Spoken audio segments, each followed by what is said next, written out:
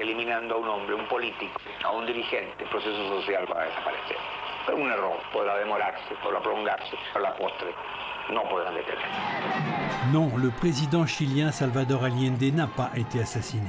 Il s'est suicidé le 11 septembre 1973 dans La Moneda, le palais présidentiel bombardé par l'aviation du général Augusto Pinochet. Et il se parle donc mais c'est ainsi que commence ce documentaire de Patricio Enriquez, réalisé en 1998 avec les survivants de la Moneda, ceux qui n'ont pas été assassinés. Donc après ça, Pinochet prend le pouvoir et on entre dans la grande noirceur C'est vraiment un rideau noir qui tombe sur un pays qui était sûrement un peu bordélique par moment, mais qui, dans lequel il y avait une liberté et une possibilité de débat politique. En 1973, Patricio a 22 ans, il est journaliste à la télé et il couvre le palais présidentiel, la Moneda. Le 11 septembre, il ne peut pas s'en approcher. La Moneda était encerclée complètement. La ville était comme déserte. On voyait beaucoup de voitures de police, beaucoup de, de camionnettes et même des blindés. Dès avant l'aube, l'armée avait bouclé tout le pays, tous les endroits stratégiques de la gauche, les usines, les universités. Elle avait manqué son coup d'État en juin, mais en avait appris les leçons. Car une fois de plus dans son histoire, le pays pourrait bien être secoué, déchiré même par une guerre civile. Le 4 septembre, sept jours avant le coup d'État, notre émission Format 60 diffuse ce reportage de Pierre Nadeau. D'un côté, une classe moyenne et une bourgeoisie révoltée par la détérioration de la situation économique et dont les mouvements de protestation de mieux en mieux organisés sont soutenus de l'extérieur. En face, une classe ouvrière qui a élu Allende il y a trois ans et veut que son gouvernement poursuive sa marche vers le socialisme. Tous les moyens sont bons pour rappeler l'engagement, même la chanson.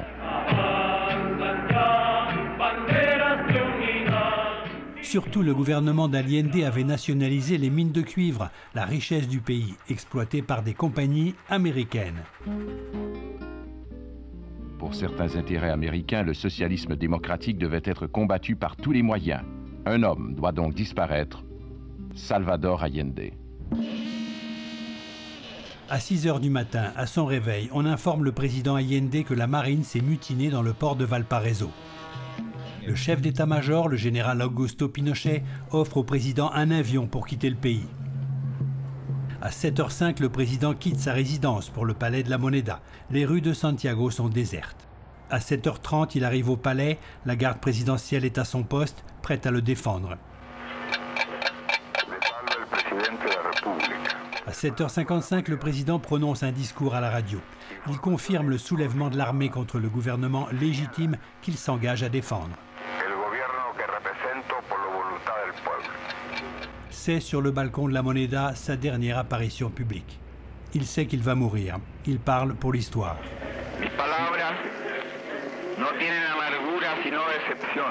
Je vous le dis, je ne quitterai pas le pays, je ne quitterai pas la monnaie. Là, il faudra qu'ils me tuent s'ils veulent que je démissionne. Je ne démissionne pas.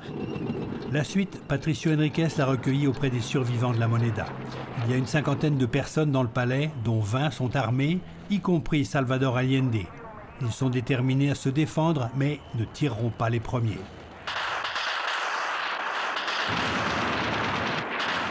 9h30, les tanks ouvrent le feu. L'infanterie suit et tente de prendre le palais d'assaut. Il ne leur faudra pas moins de 5 offensives.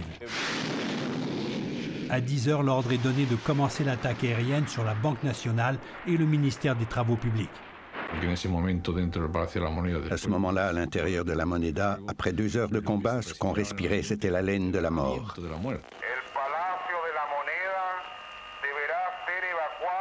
Puis c'est l'ultimatum. Comme personne ne veut en sortir, le palais sera bombardé. Les gaz rendent l'atmosphère irrespirable alors que l'intérieur est envahi par le feu. Alors tout le monde est sorti, sauf le président Allende qui est remonté au premier étage. Son médecin personnel, Patricio Gijon, remonte aussi pour chercher son masque à gaz. Dans un des salons, il tombe sur le président.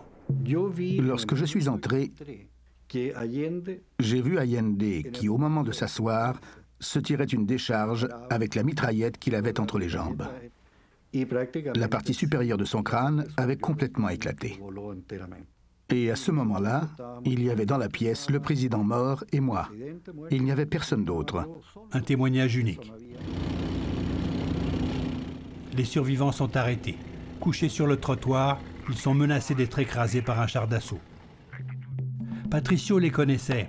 Après son arrestation, il les a retrouvés dans une des casernes de passage, vivants, pas pour longtemps. Ils les ont tués un par un, sans aucune forme de procès militaire. C'est contraire à toutes les règles, y compris les règles des guerres. Ils font partie des quelques mille disparus qu'on recherche encore? Oui, absolument. Ces disparus, le gouvernement chilien de Gabriel Boric, un admirateur de Salvador Allende, a récemment ordonné une enquête pour en retrouver la trace.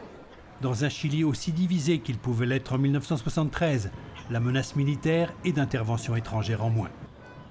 Patricio, lui, après un séjour douloureux dans le fameux stade national avec des milliers d'autres prisonniers politiques, a réussi à se réfugier au Québec. Il y est devenu un grand réalisateur de documentaires.